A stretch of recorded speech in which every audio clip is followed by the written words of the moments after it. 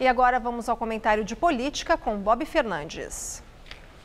Certas frases, mais ainda as que escapam à vigilância, se tornam tomografias de um tempo, de seus líderes e seus próximos.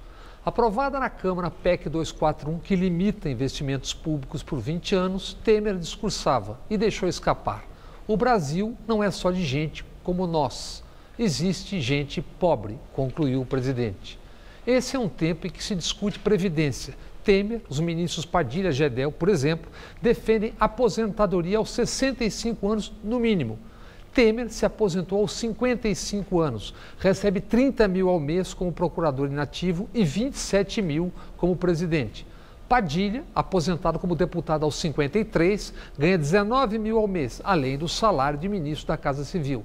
Gedel, ministro secretário de governo, aposentou-se aos 51 anos, recebe 20 mil e 30 mil brutos como ministro.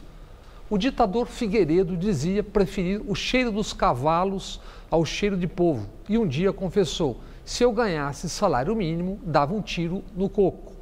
Fernando Henrique foi compulsoriamente aposentado pela ditadura aos 37 anos, quando o presidente, aos 66, disse só vagabundo se aposenta antes dos 50 anos. Escândalo, frases e mais frases de médicos e associações quando chegaram os médicos cubanos, esses que já atenderam mais de 60 milhões de pessoas. Sobre a PEC que congela gastos também na saúde, nem um pio. Já Drauzio Varela, um médico símbolo, não acredita no anunciado remanejamento de verbas e antecipa: vamos deixar grandes massas desassistidas. O SUS é uma conquista, não tem sentido reduzir ainda mais investimentos na saúde. O deputado Nelson Marqueselli defende: quem não tem dinheiro não faz universidade.